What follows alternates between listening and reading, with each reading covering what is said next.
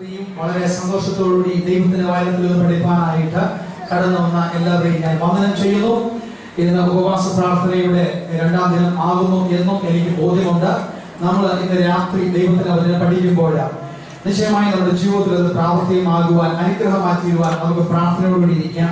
കഴിഞ്ഞ രണ്ട് രാത്രികളിൽ നമ്മൾ പഠിപ്പാൻ ഇടയായി തീർന്നത് ദൈവരാജ്യത്തെ കുറിച്ചാണ് ആദ്യത്തെ ദിവസം നമ്മൾ ദൈവരാജ്യത്തിന്റെ ഇൻട്രൊഡക്ഷനും അതുപോലെ തന്നെ ദൈവരാജ്യം ആർക്കു വേണ്ടിയുള്ളതാകുന്നു? എന്താകുന്നു ദൈവരാജ്യം? ദൈവരാജ്യത്തിന്റെ നിർവചനം എന്താണ്? ആരൊക്കെ ദൈവരാജ്യത്തിൽ അംഗങ്ങളായി തീരും ആരൊക്കെ ദൈവരാജ്യത്തിൽ പ്രവേശിക്കും? ആർക്കാണ് ദൈവരാജ്യത്തിൽ പ്രവേശിക്കാൻ കഴിയാത്തത്? തുടങ്ങിയ വിഷയങ്ങൾ ഒന്നാം ദിവസം നമ്മൾ പഠിപ്പാൻ ഇടയായി തീർന്നു രണ്ടാം ദിവസം നമ്മൾ പഠിപ്പാൻ ഇടയായി തീർന്നത് ദൈവരാജ്യത്തിൽ ഒരാൾ വരുമ്പോൾ അവർക്കുണ്ടാകുന്ന ഭാഗ്യത്തെ കുറിച്ച് യേശു കർത്താവ് വ്യക്തമാക്കുന്നതാണ് നമുക്ക് കാണുവാൻ ഇടയായി അത് ദൈവരാജ്യത്തിൽ വരുന്നവർക്ക് ഉണ്ടായിരിക്കേണ്ട സ്വഭാവ ഗുണങ്ങളെ കുറിച്ച് നമ്മൾ പഠിപ്പാനായിട്ട് ഇടയായി ഇന്ന് രാത്രി അത് അതുമായി ബന്ധപ്പെട്ട് തന്നെ ഉള്ള ഒരു ഭാഗമാണ് നമ്മൾ മനസ്സിലാക്കുവാനും പഠിക്കുവാനും ആഗ്രഹിക്കുന്നത്. അപ്പോൾ തന്നെ ഇന്ന് രാത്രി ഞാൻ വിശ്വസിക്കുന്നു. ദൈവത്തിന്റെ വചനത്തിൽ നിന്നും ദൈവത്തിന്റെ വചനം നമ്മോട് വ്യക്തമാക്കുന്നത് പോലെ ദൈവരാജ്യത്തിന്റെ പ്രവർത്തികൾ ഈ രാത്രി നാം അനുഭവിച്ച് കടന്നു പോകാൻ പോവുകയാണ് ദൈവരാജ്യം അത് പഠിപ്പിക്കുന്ന ഒരു കാര്യം മാത്രമല്ല അല്ലെങ്കിൽ വചനത്തിൽ മാത്രം നിലനിൽക്കുന്ന ഒരു കാര്യമല്ല ദൈവരാജ്യം ദൈവസഭയിൽ അതിന്റെ പ്രവൃത്തികൾ തെളിയിക്കും. ദൈവസഭയിൽ ദൈവരാജ്യത്തിന്റെ പ്രവൃത്തികൾ പ്രദർശിപ്പിക്കുന്നതാണ് ദൈവരാജ്യത്തിന്റെ പ്രാധാന്യം എന്ന് പറയുന്നത്. ഇന്ന് രാത്രി നാം പ്രാർത്ഥന ഇരിക്കുന്നതെങ്കിൽ സ്തോത്രം ഞാൻ വിശ്വസിക്കുന്നു ദൈവരാജ്യത്തിന്റെ പ്രവർത്തികൾ ദൈവം ഈ സഭയിൽ ചെയ്യാൻ പോവുകയാണ്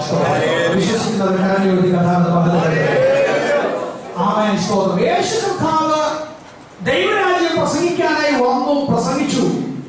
അതിനുശേഷം ദൈവരാജ്യത്തിന്റെ പ്രവർത്തികൾ അതിനോടനുബന്ധിച്ച് താൻ ചെയ്യുവാനായിട്ട് തീർന്നു എന്ന് പറഞ്ഞാൽ ദൈവരാജ്യത്തിൽ അംഗമാകുന്നവർക്ക് വേണ്ടി ദൈവം വാക്തത്വം ചെയ്ത ദൈവപ്രവർത്തികൾ ദൈവം മറുപടിയായി ചെയ്തെടുക്കുന്നവനായി സ്തോത്രം. ഉദാഹരണമായി നമുക്ക് ഒരു വേദഭാഗം വായിച്ച് മുന്നോട്ട് പോകുവാൻ ഞാൻ താല്പര്യപ്പെടുന്നു. മർക്കോസിന്റെ സുവിശേഷം ഒന്നാം അധ്യായം അതിന്റെ ഇരുപത്തി ഏഴാം വാക്യം വായിക്കാം. എല്ലാവരും ആശ്ചര്യപ്പെട്ടു. ശ്രദ്ധിക്കൂ പ്രിയമുള്ളവരെ. അവിടെ കൂടി വന്ന ജനം മുഴുവൻ ആശ്ചര്യപ്പെട്ട് യേശുവിംഗിലേക്ക് നോക്കുകയാണ്.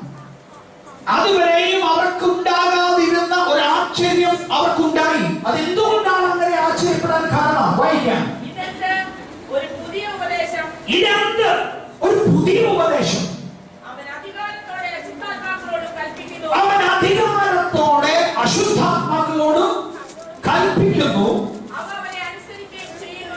അവ അവനെ അനുസരിക്കുകയും ചെയ്യുന്നു എന്ന് പറഞ്ഞു തമ്മിൽ വാദിച്ചുകൊണ്ടിരുന്നു. ശ്രദ്ധിച്ചു ഏതാ ഉപദേശത്തിന്റെ അടിസ്ഥാനം എന്ന് പറയുന്നത്? നാം ആദ്യത്തെ ദിവസം കണ്ടതാണ് സുവിശേഷം. ഒന്നാം അധ്യായം അതിന്റെ പതിനാല് പതിനഞ്ച് വാക്യങ്ങൾ വേഗത്തിൽ വായിച്ചാൽ.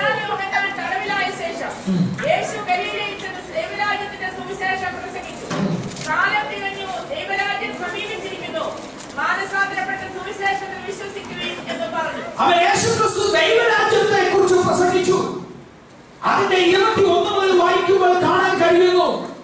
അവിടെ അശുദ്ധാത്മാക്കളെ യേശു പുറത്താക്കി ജനത്തെ വിടുവിക്കുന്നതായി കാണാൻ കഴിയുന്നു. ശ്രദ്ധിക്കൂ പ്രിയമുള്ളവരെ ദൈവരാജ്യത്തിന്റെ പ്രഘോഷണത്തിൽ ഒരു വിടുതലുണ്ട്. ദൈവരാജ്യത്തിന്റെ പ്രഘോഷണത്തിൽ നിരാശയല്ല ഉൾപ്പെട്ടു നിൽക്കുന്നത്. ദൈവരാജ്യത്തിൽ ഉൾപ്പെട്ടു നിൽക്കുന്നത് പ്രത്യാശയാണ്. വിശ്വസിക്കുന്നവർ പ്രത്യാശയോടുകൂടി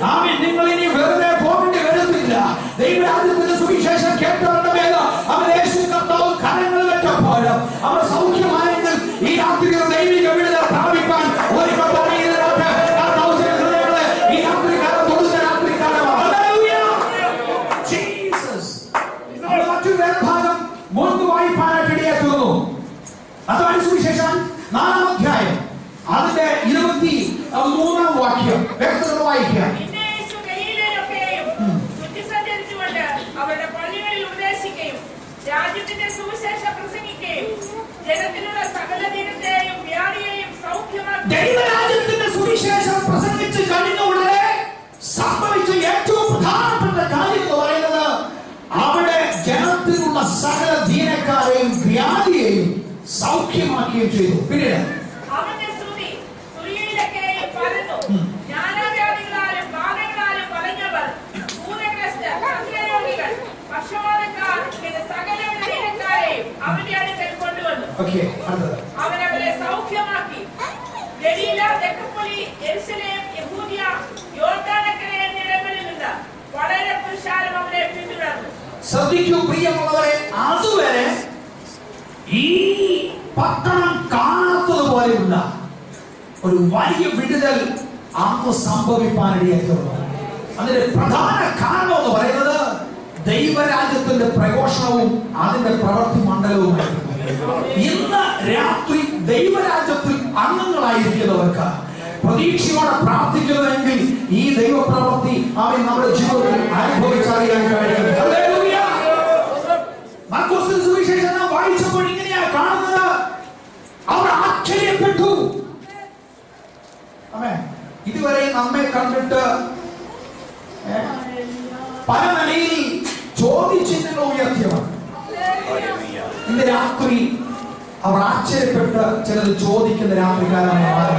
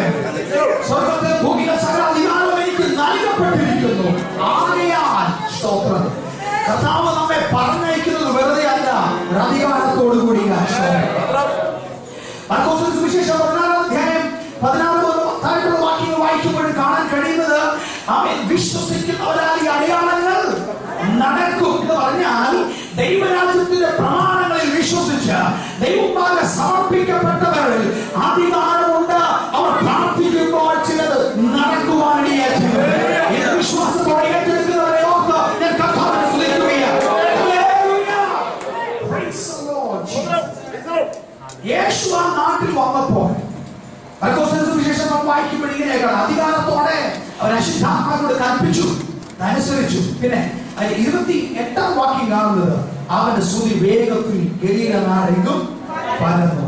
യേശു വന്നാൽ ചിലത് പരക്കും. ചില സ്തുതികൾ പരക്കും. ആമൻ നിരാശയുടെ സ്തുതികൾ അല്ല പ്രിയമുള്ളത് യേശു വരുമ്പോൾ പരക്കുന്നത് ആമൻ വേദനയുടെ സ്തുതികൾ അല്ല യേശു വരുമ്പോൾ അവൻ പരക്കുന്നത് 아멘 백성과 들의 아멘 소리가 들려 역시 가난한 자들과 바라꾸마다 아멘. 안보다 들의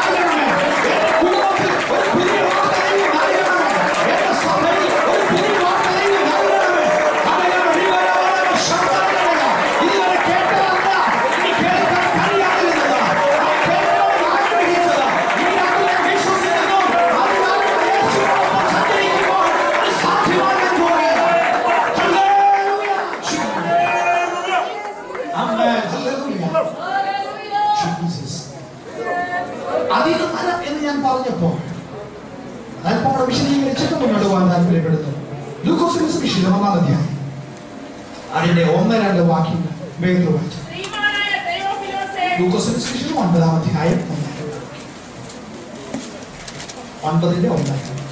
പിന്നെ അവൻ അവരോട് ദൈവരാജ്യം ശക്തിയോടെ വരുന്നത് കാണുവോളം കാരണം ആസ്വദിക്കാത്തവർ ചിലർ ഈ നിൽക്കുന്നവരുണ്ട്. അടുത്ത് വിളിച്ചു. അതെ. അവർക്ക് ശക്തിയും അധികാരവും അവർക്ക് ശക്തിയും അധികാരവും കൊടുത്തു. വളരെ ശ്രദ്ധിക്കേണ്ട ഒരു കാര്യമുണ്ട്. രണ്ട് പദങ്ങളാണ് ഉപയോഗിച്ചിരിക്കുന്നത്. ഒന്ന് ശക്തി. രണ്ട് അധികാരം. എന്താ അതിന്റെ വ്യത്യാസം? ശക്തി എന്ന പദവും അധികാരം എന്ന പദവും തമ്മിൽ ഒരുപാട് വ്യത്യാസം. ശക്തി ഉണ്ടെന്ന് കരുതി അധികാരം ഉണ്ടാകണമെന്നുണ്ട് പവർ ആൻഡ് അതോറിറ്റി ഇന്ന് ലോകത്ത് ഒരുപാട് പേർ കായിക ശക്തിയുള്ളവരുണ്ട് കായിക ബലമുള്ളവരുണ്ട് പക്ഷെ അവർക്കെല്ലാം അധികാരം ഉണ്ടാകണമെന്ന് ഏതാണ് ഏറ്റവും ഏറ്റവും ഉയർന്നു നിൽക്കുന്നത് ഏതാണ്? ശക്തിയാണോ? അധികാരമാണോ ഉയർന്നത്? അധികാരമാണ് മർക്കോസിന്റെ സുവിശേഷത്തിൽ നമ്മൾ വായിച്ചത് അശുദ്ധാത്മാക്കളെ യേശു പുറത്താക്കിയപ്പോൾ ജനം ആശ്ചര്യത്തോടെ നോക്കി നിൽക്കാൻ കാരണമെന്ന് ചോദിച്ചാൽ അവർ നോക്കുമ്പോൾ ഈ അശുദ്ധാത്മാവിന് ഇത്രയും ശക്തിയുണ്ട്. ഈ ശക്തിയെ മറികടക്കുന്ന ഒരു ശക്തി യേശുവിൽ അവർ കണ്ടില്ല പക്ഷേ യേശുവിന്റെ അധികാരത്തെ അവർ തിരിച്ചറിഞ്ഞു. ഇന്ന് നമ്മുടെ നാട്ടിൽ ദേശീയാധീന ശക്തികളോ സാത്താന്റെ കൂടൊക്കെ പൊളിച്ച് ഒരുപാട് പേര് വന്നേക്കാം. ചിലക്കൊക്കെ മന്ത്രമൊന്നും തന്ത്രവും കൂടുമോത്രം എന്നൊക്കെ പറയുമ്പോഴേക്കും പിന്നെ ആകപ്പാടെ വേവലാതിയ സ്തോത്രം. ഞാൻ ഒരു കാര്യം പറയട്ടെ നമ്മുടെ ശക്തിയെ കുറിച്ചും അധികാരത്തെ കുറിച്ചും അത്ര ബോധ്യമില്ലെങ്കിലാ ഇത്രയും ആവലാതിപ്പെടുന്നത് സ്തോത്രം. അതെ പ്രധാനപ്പെട്ട കാര്യം എന്തെന്ന് പറഞ്ഞാൽ ഉദാഹരണം പറഞ്ഞാൽ ഇപ്പൊ ഒരു ജിന്ന് നമ്മളെ നേരെ ആക്രമിക്കാൻ വന്നു എന്നിരിക്കട്ടെ. അതിന് ശക്തിയുണ്ട് ശരിയാ. പക്ഷെ അതിന് അധികാരം അതിന് ശക്തിയുണ്ട് പക്ഷെ അധികാരം ഇല്ല. എന്നെയും നിന്നെയും ദൈവം പറഞ്ഞു വിട്ടപ്പോൾ ഒൻപതാം വാക്യം ഒന്നാം വാക്യം വളരെ കൃത്യമായി പറയുന്നു. ദൈവരാജ്യത്തിന്റെ അംഗങ്ങളായി ഒരുവൻ തീർന്നു കഴിയുമ്പോൾ അവന് മുദ്രയിട്ട് കൊടുക്കുന്ന ആമേ ദൈവത്തിന്റെ വചനം എന്ന് പറയുന്നത് അവൻ ശക്തി മാത്രമല്ല അതോടൊപ്പം ഒരു അധികാരം കൂടെ. നേരത്തെ G G Simon pastor class എടുത്തപ്പോൾ ഒരു ദിവസം ഞാനുണ്ട്. അദ്ദേഹം പറഞ്ഞൊരു കാര്യമുണ്ട്. വിശുദ്ധാത്മാവിനെ മുദ്രയിടുന്നതിനെ കുറിച്ച് മുദ്ര എന്ന് പറഞ്ഞാൽ എന്താണ്? അധികാരമാണ്. സീൽ ചെയ്ത് ദൈവം അയക്കുന്ന കാര്യമാണ്. എവിടെ പോയാലും അവൻ അതിന്റെ അർത്ഥം എന്താണെന്ന് അറിയാമോ ഇതിന്റെ ഉടമസ്ഥൻ വേറൊരാളാണെന്ന് തെളിയിക്കുകയാണ്. അവൻ ഇന്ന് ഞാനും നീയും ഈ പട്ടണത്തിൽ ഇറങ്ങുമ്പോൾ ആമൻ പിശാജ് നോക്കുമ്പോൾ നാം ഒന്നുമില്ലാത്തവരാ കാതിലൊന്നുമില്ല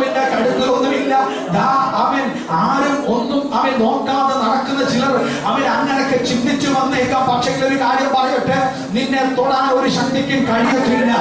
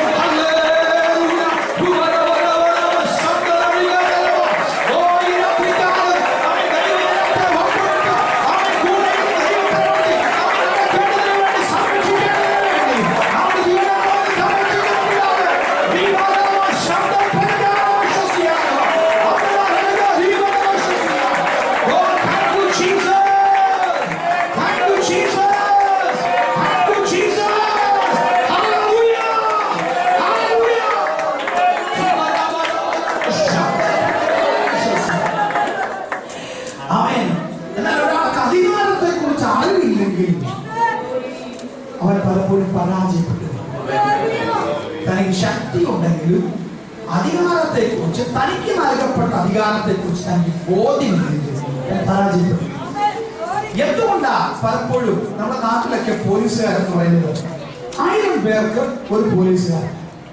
ഇപ്പോഴത്തെ വ്യത്യാസം നിർത്തിയിട്ടുണ്ടോ എന്ന് എനിക്കറിയത്തില്ല. ഇപ്പൊ ശരിക്കും പറഞ്ഞാൽ നൂറ് പേർക്ക് ഒരാൾ വീതമെങ്കിലും ഉണ്ടെങ്കിലേ പറ്റൂ. എന്തായാലും ശരി ആയിരം പേർക്ക് ഒരാൾ എന്ന് പറയാൻ കാരണം എന്താണ്? ഈ ആയിരം പേരിൽ ഈ മനുഷ്യനോട് മണം വിളിച്ചു നിൽക്കുന്ന ആരാ ജീവിക്കുന്നത്? നമുക്കറിയാം പറയേണ്ട കാര്യമില്ല എന്താ ഈ മനുഷ്യനെ വ്യത്യസ്തനാക്കുന്നത്? അവന്റെ യൂണിഫോം അവർ കൊടുത്തിരിക്കുന്ന അധികാരമാണ് തന്റെ ശക്തി എന്ന് പറയുന്നത്.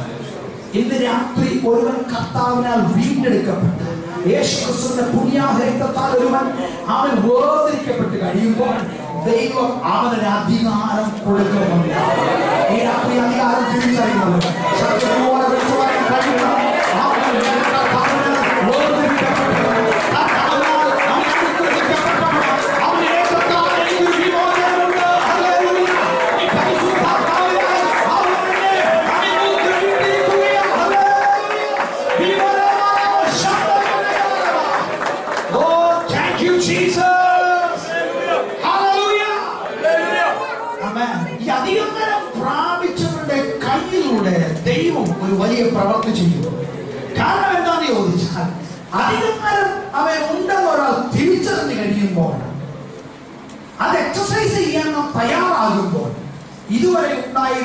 പല പോരാട്ടങ്ങളും ഇല്ലാതെ ഞാൻ തിരിച്ചറിഞ്ഞ് കത്താൻ ശ്രദ്ധിച്ചു ശക്തി മാത്രമല്ല ദൈവം എനിക്ക് അധികാരം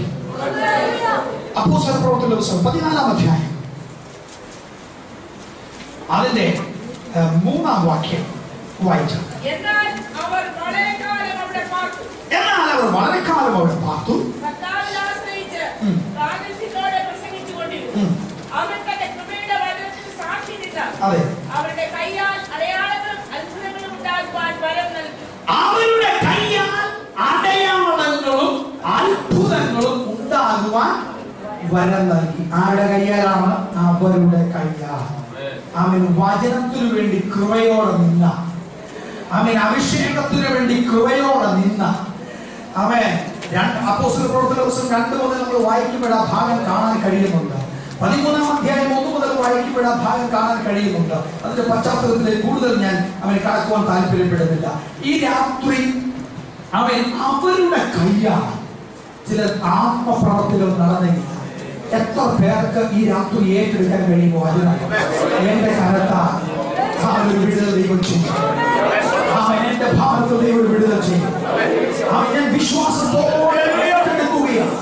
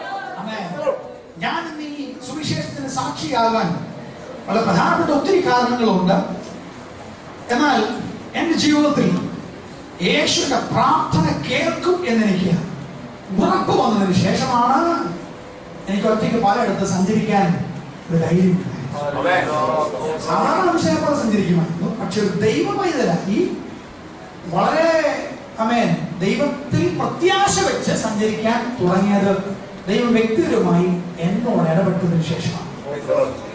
ഒരിക്കൽ ഞാൻ ബസ് യാത്ര ചെയ്യുന്ന സമയത്ത് അന്ന് ഞാൻ ഡിഗ്രി ചെയ്തുകൊണ്ടിരിക്കുകയായിരുന്നു. ബാച്ചിലേഴ്സ് ചെയ്യുന്ന സമയമാണ്. ആ സമയത്ത് തന്നെ ഞാൻ കോളേജിനടുത്ത് ഞാൻ ചെറിയ സഭ നടത്തുന്നുണ്ടായിരുന്നു അങ്ങനെ നടത്തിക്കൊണ്ടിരിക്കുന്ന സമയത്ത് ഒരു ദിവസം ഞാനൊരു പരസ്യബോധന പ്രസംഗിച്ചു.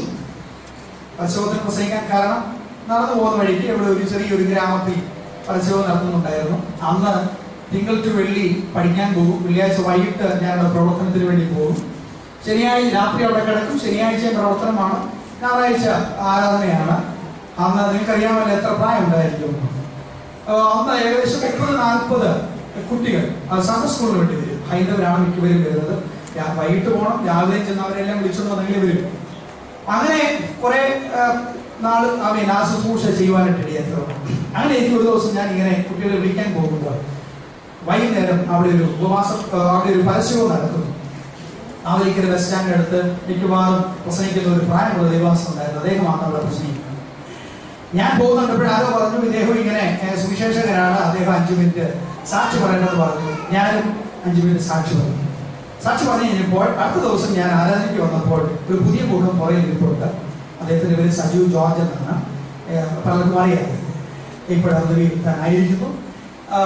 ഇദ്ദേഹം പുറകിൽ ഇരിപ്പുണ്ട്. ഞാൻ കാര്യങ്ങൾ ചോദിച്ചപ്പോൾ പറഞ്ഞു ഇന്നലെ അച്ഛന്റെ പ്രസംഗം കേട്ടു.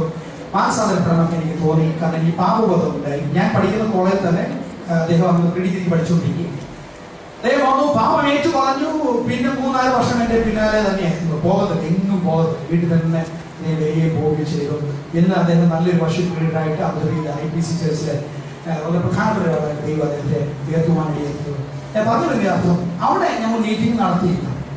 തിരിച്ചു വരുന്ന സമയത്ത് ദിവസം ആ, ഞായറാഴ്ച ഉച്ച കഴിഞ്ഞിട്ടാണ് തിരിച്ചു വരുന്ന സമയത്ത് മാവേലിക്കര എത്തി. ഞാൻ മാവേലിക്കരയിൽ നിന്ന് ഏകദേശം ആറ് കിലോമീറ്ററുകൾ കൂടി പോയെങ്കിൽ മാത്രമേ എന്റെ വീട്ടിൽ എത്തത്തു എത്തത്തുള്ളൂ.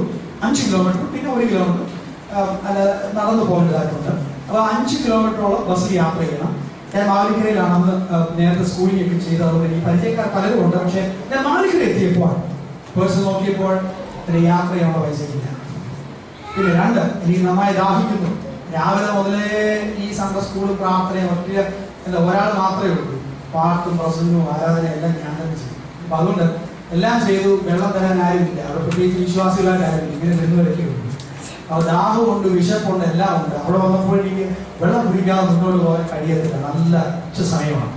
ഞാൻ ദൈവത്തോട് പ്രാർത്ഥിച്ചു. എന്റെ വേദോസം മാത്രമേ ഉള്ളൂ. അന്നും ഈ പ്ലാസ്റ്റിക്കിലോ അല്ലെങ്കിൽ ബാഗിലൊന്നും കൊണ്ടുനടക്കുന്ന പെടുന്നില്ല ബൈബിളായിട്ട് കൊണ്ടുപോകുന്ന ഒരു എത്ര ദൂരം പോയാലും അങ്ങനെ ചെയ്യാറുള്ളത് അങ്ങനെ ഞാൻ വന്നു എന്റെ ബൈബിൾ ഇരിപ്പുണ്ട്.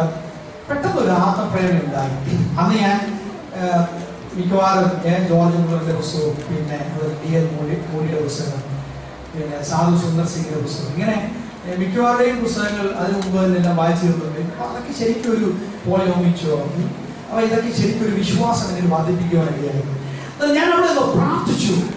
നേരെ ഓപ്പോസിറ്റ് ഒരു ബേക്കറി ഉണ്ട് ഞാൻ അവിടെ പോയിട്ട് എനിക്ക് ആവശ്യമുള്ളത് ഓർഡർ ചെയ്തു. വെള്ളമാണ്. ഇത് കുടിച്ചുകൊണ്ടിരിക്കുക കുടിക്കുന്ന സമയത്തല്ല എനിക്കറിയാം എന്റെ പൈസ ഇല്ല. ഞാൻ എന്താ ചെയ്യേണ്ടതെന്ന് എനിക്കറിയത്തില്ല. അപ്പം കുടിച്ചു കഴിഞ്ഞു. കുടിച്ചു കഴിഞ്ഞ ശേഷം ഞാനത് അവിടെ വെച്ചു. അപ്പം ഈ കടയുടെ ഉടമ ചോദിച്ചു ഒന്നുകൂടെ എടുക്കട്ടെ എന്ന് ചോദിച്ചു. എനിക്കറിയാം ഒന്നത്തിന്റെ പൈസ കൊടുക്കാനില്ല ഇനി രണ്ടാമത് ഒന്നുകൂടെ ചോദിച്ചു കഴിഞ്ഞാൽ നമുക്ക് എങ്ങനെയാണ് നമ്മൾ ഞാൻ പറഞ്ഞു വേണ്ട. വേണ്ട എന്ന് പറയുകയും ഞാൻ ഈ പൈസ എടുക്കാൻ ഇങ്ങനെ as if and like taking the money ഞാൻ പേഴ്സിലെ പേഴ്സിലേക്ക് അല്ലെങ്കിൽ പുറത്തെ പോക്കറ്റിലേക്ക് എന്റെ കൈ. ഇടാൻ നേരത്ത് ഈ മനുഷ്യന്റെ മുഖത്തോട്ട് കൊണ്ട് പറഞ്ഞു പൈസ ഒന്നും തരണ്ട. അപ്പൊ എനിക്ക് എന്നെ തന്നെ വിശ്വസിക്കാൻ കഴിഞ്ഞില്ല ഞാൻ പെട്ടെന്ന് തന്നെ തിരിച്ച് ഇങ്ങനെ നടന്നു.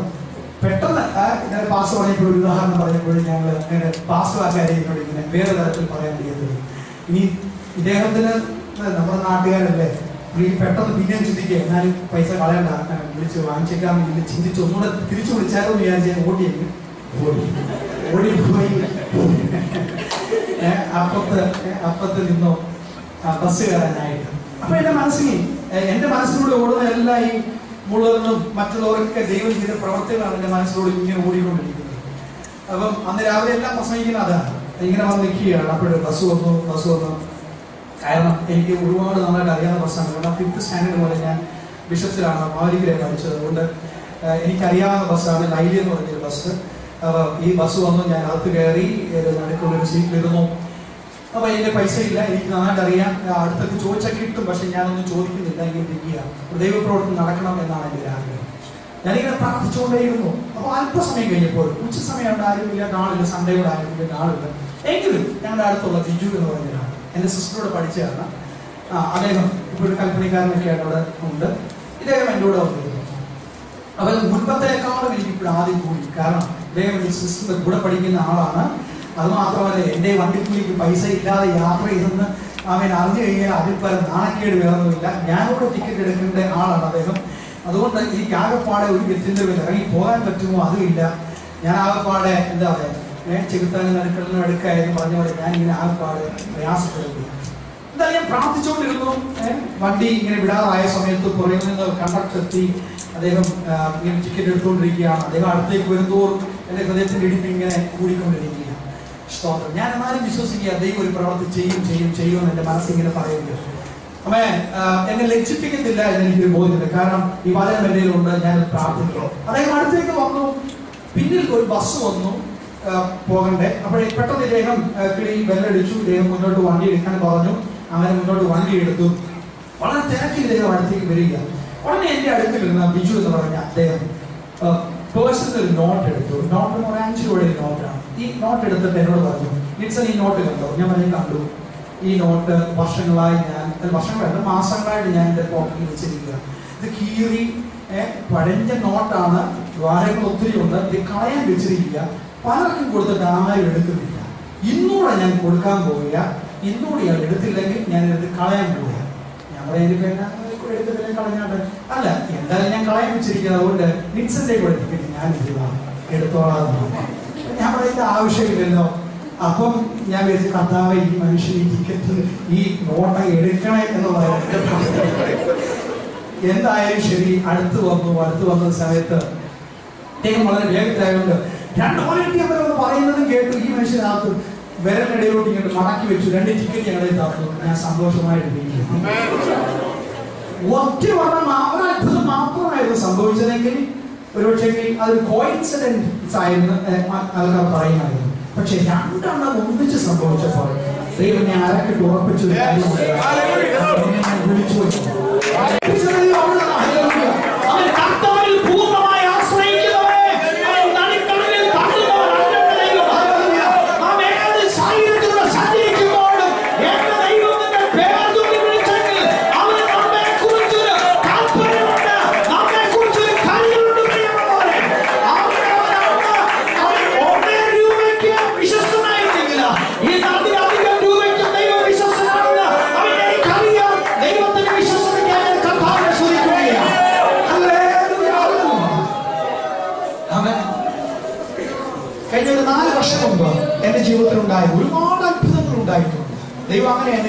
എന്നെ വിശ്വാസത്തിൽ ഉറപ്പിച്ചു കഴിഞ്ഞ ആറ് വർഷം മുമ്പ് ഉണ്ടായ ഒരു അത്ഭുതം നിങ്ങളോട് പങ്കുവയ്ക്കാൻ താല്പര്യമുണ്ട്.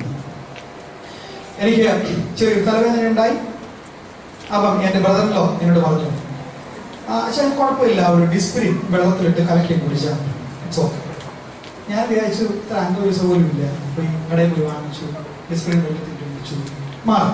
ആ ഈസി ആയിട്ടുള്ള കാര്യമാണ് പിന്നെ കുറെ കഴിഞ്ഞു ഒരു മാസം കഴിഞ്ഞപ്പോൾ വീണ്ടും തലവേദന അപ്പൊ ഞാൻ ചോദിക്കാറുണ്ട് പോലും ഞാൻ തന്നെ ഡിസ്പ്ലിൻ വാങ്ങിച്ചു കഴിച്ചു.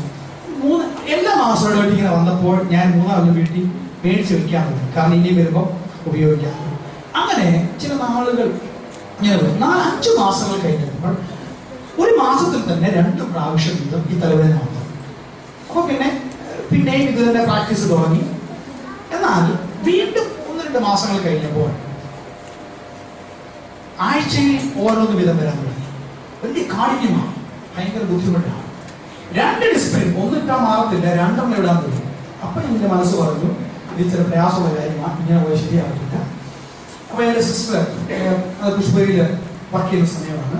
സിസ്റ്റർ ഞാൻ പറഞ്ഞു എനിക്ക് എനിക്കിതുപോലെ വിഷയമുണ്ട് അപ്പൊ പറയും കുഴപ്പമില്ല അവിടെ ജി സാമിൽ എന്ന് പറഞ്ഞൊരു ന്യൂറോളജിസ്റ്റ് ഉണ്ട് അദ്ദേഹത്തെ കാണുന്നുണ്ടായിരുന്നു അപ്പൊ അങ്ങനെ ഞങ്ങൾ അവിടെ അപ്പോയിൻമെന്റ് എടുത്ത് അവിടെ ചെന്നു.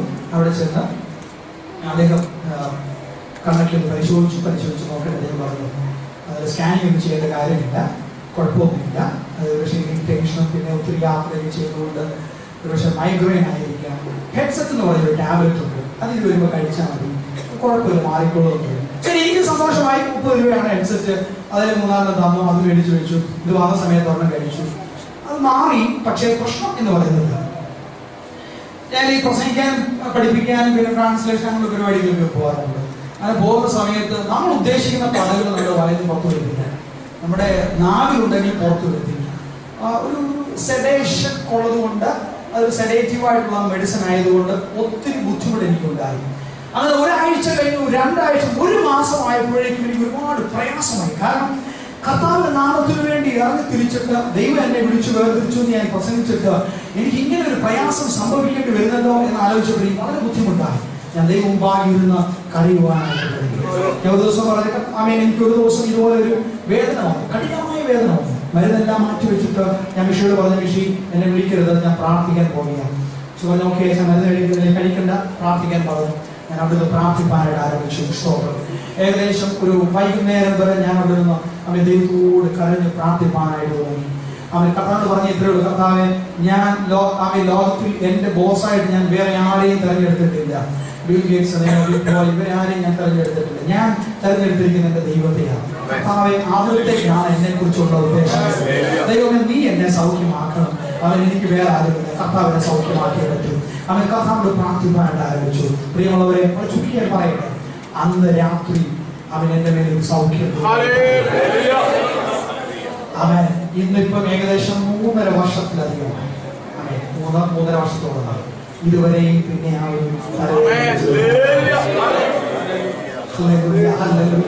എന്റെ ദൈവം വിശ്വസ്തനാണ് ഇന്ന് രാത്രി ഞാൻ പ്രസംഗിക്കുന്നു അവൻ അധികാരത്തോടെ നാം പ്രാർത്ഥിക്കുമ്പോൾ നമ്മുടെ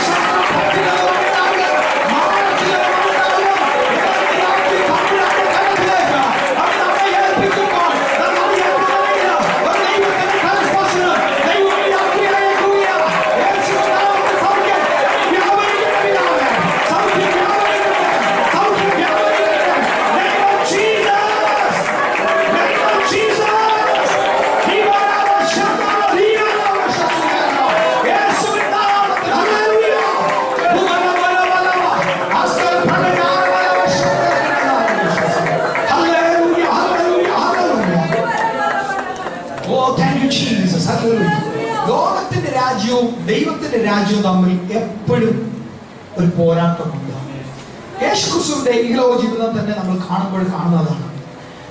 ദൈവരാജ്യത്തെ കുറിച്ച് പ്രസംഗിക്കാൻ വന്ന യേശുവിനെ ഈ ലോക രാജ്യത്തിന്റെ അധിപതിയാക്കാൻ ഒത്തിരി പരിശ്രമിച്ചു പിശാച്ചു പക്ഷെ യേശു അതിന് വഴങ്ങി അതിനു അതിനുവേണ്ടി താൻ ഒരുമ്പെട്ടില്ല.